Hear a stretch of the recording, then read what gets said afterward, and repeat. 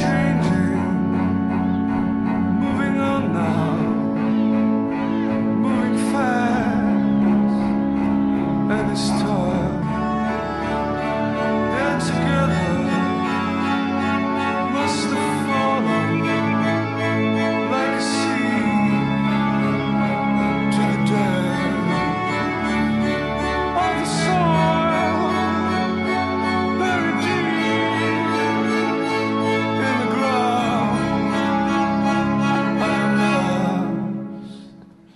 I am lost.